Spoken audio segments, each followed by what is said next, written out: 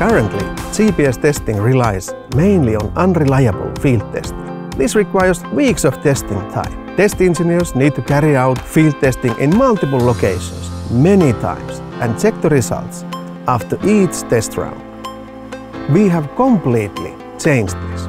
We moved time-consuming and unreliable field testing into the laboratory environment by creating virtual test routes in our test lab. This reduces needed GPS test time to one day. A reliable and repeatable test environment also enables you to make better performing products.